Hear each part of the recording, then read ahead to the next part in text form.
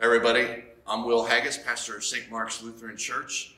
And when I am preaching and teaching and, and, doing these table talks, it's all about coaching you, doing the best I can to help you in the art of living well. We're going to continue our series this Sunday on Easter, the resurrection. 1 Corinthians chapter 15, the resurrection chapter.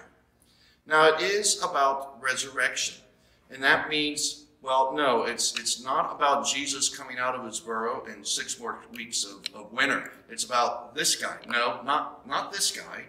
This guy, Punxsutawney Phil.